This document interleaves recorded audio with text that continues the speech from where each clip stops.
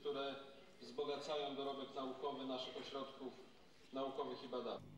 Ta wizyta jest oczekiwana.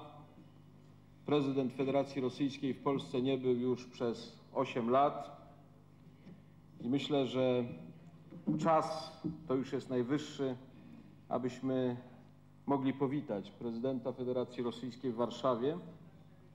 A co jest największą zaletą podróży do Warszawy, co uczeni rosyjscy, którzy mają kontakty z Polską wiedzą, to jest to, że można wsiąść do samolotu o godzinie trzeciej w Moskwie i o trzeciej ląduje się w Warszawie. realizacji której będzie można wykorzystać potencjał.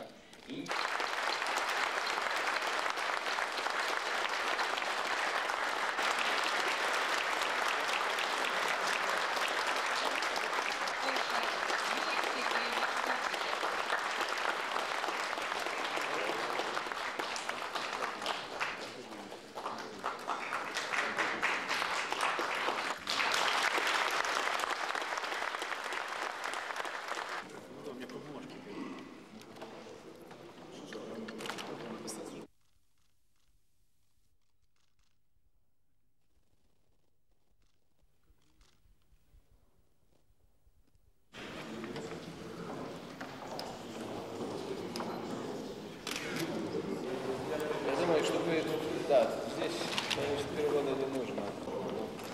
С вашей понятно все. так? Осторожно, дорогие друзья, мы понимаем все. с привилегированные партнерские отношения во многих сферах, и не только в области.